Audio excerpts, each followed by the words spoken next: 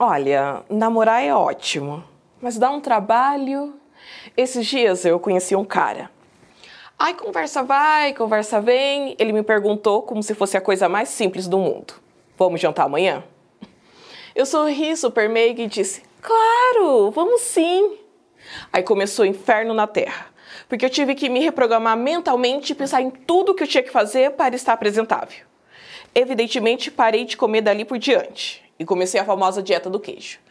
Você passa o dia inteiro sem comer e quando sente que vai desmaiar, come uma fatia de queijo. É ótimo, super saudável. Dieta garantida, próximo passo, fazer pé e mão. Quem se importa se é inverno e você provavelmente vai usar uma bota cano alto? Pé e mão tem que estar feito. Até porque homem tem uma tara estranha por pé, sei lá por quê. Ah, não pode esquecer a depilação. Porque quem vai querer sair com um urso? Mesmo que seja para o inocente jantar. Você vai fazer a perna, axila, virilha. Ai, mulher sofre. Há vários outros dilemas, como cabelo, maquiagem, roupa, mas o pior de todos é a lingerie. Porque roupa feminina ou é bonita ou é confortável. Aí você olha para aquela sua calcinha de algodão, tamanho lona de circo. Ela é confortável, é cor da pele, é praticamente um método anticoncepcional. Você pensa, ah, não vou dar para ele hoje mesmo? Você a coloca. Mas aí bate aquele arrependimento e você pensa, ah, e se mesmo sem dar para ele, ele acabar vendo a minha calcinha? Sim, porque no restaurante pode ter uma escada. E vai que eu invento de subir na frente dele. Muito puta da vida, você tira aquela sua calcinha amiga e coloca uma daquelas coisas mínimas, rendadas, que vai ficar entrando na sua bunda a noite toda.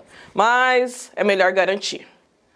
Aí, finalmente, você está pronta, bonita, perfumada, histérica e faminta. O que acontece?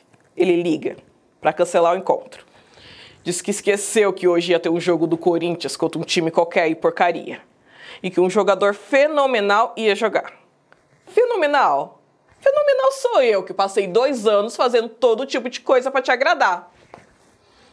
Juro que eu pensei em dizer isso, mas acabei falando um sonoro.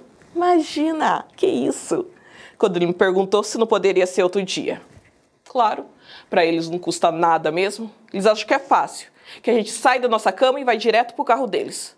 Se eles soubessem o trabalho que dá, nunca usariam desmarcar. Pelo contrário, pediriam a gente em casamento de primeira. Nossa, fiquei tonta. Será que eu tô tendo um AVC? Ou pode ser fome também. Tem um pedaço de queijo aí?